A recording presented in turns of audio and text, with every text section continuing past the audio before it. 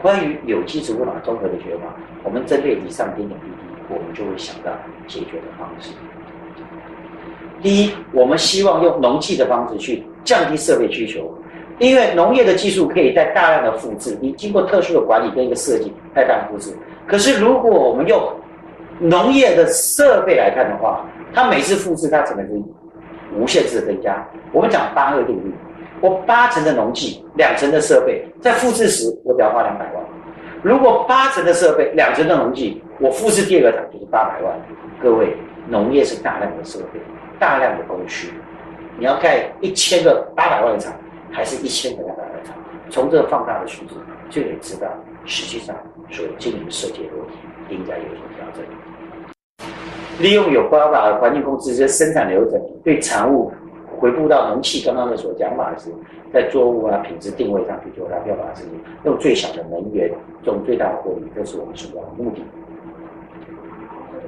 集约生产其实是竹工真正核心的技术，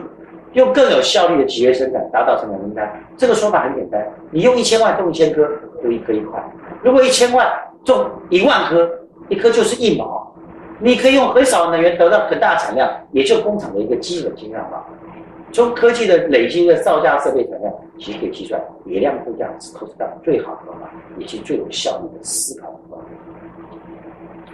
如果我们将传统的技术种植技术融入到工厂的设计管理，降低门槛，它就可能发生在传统的科技中得到一个平衡点，在技术跟获利中得到一个反曲点，让操作容易，直接影响成本。我们为什么讲句话？当一个技术成本越高，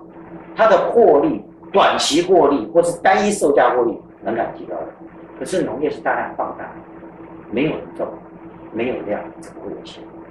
好，如果这么多的技术门槛，四个人就要个主管，主管不种植；八个人就要主管，要个副总，副总又不从事生产，农业有那么多的管理阶层吗？请问一句话就是：操作能力、操作的难易度，是不是影响到所谓的获利门槛？传统生产的管理方式其实观念，利用翻土啊、灾害啊、房子啊，以种植的经验法为主。我们利用仿自然根系的竹笼法，做出全根系的方式，把传统的种植的自然农法的种植观念，透过合理的管理制产生工厂化。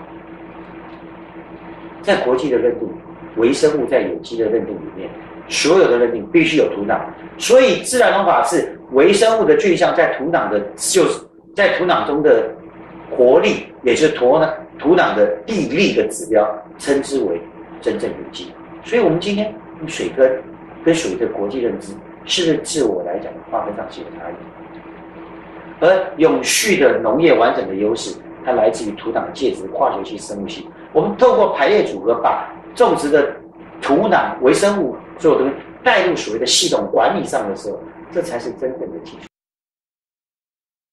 好，谢谢各位。关于相关的管理，我们在读片里面还有更多的分享给各位。希望大家对我们有所帮助，谢谢。